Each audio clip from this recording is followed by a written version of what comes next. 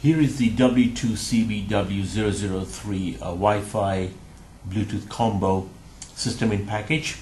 It's a 12 millimeter by 12 millimeter by 1.4 millimeter device.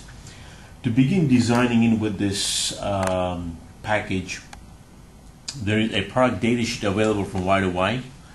Um, inside the data sheet, there is a block diagram of the actual device itself, which shows the Wi-Fi, the Bluetooth.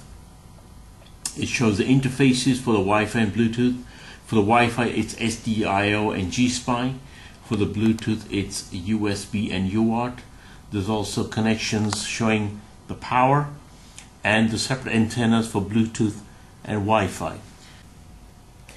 In addition, there is also a reference schematic for the W2CBW003 device. It shows all the various I.O. connections. And since for the Wi-Fi we can select the interface to be SDIO or GSPI, the reference schematic also shows the various pull-ups required to select one interface over the other. For the Bluetooth, the selection of USB over UART is done through firmware.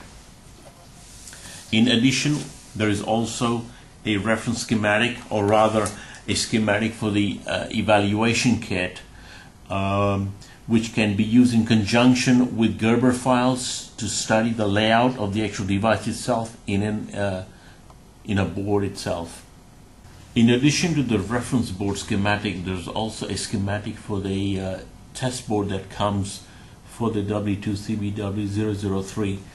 The test board schematic is also supplied with Gerber files that allows the study of how the device can be laid out in an actual board itself.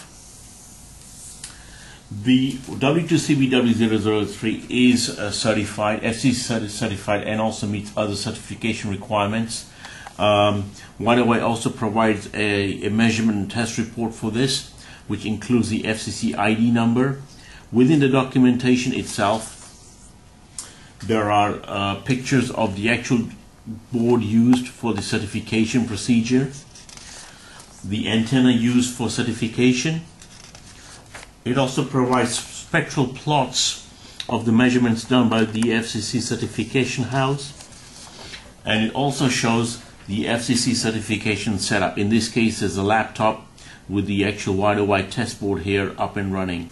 Finally, for evaluating the actual system itself, there is a uh, 802.11bg Bluetooth development system available and it comes with an eval board and antenna, interface cables and drivers to get the test board up and running.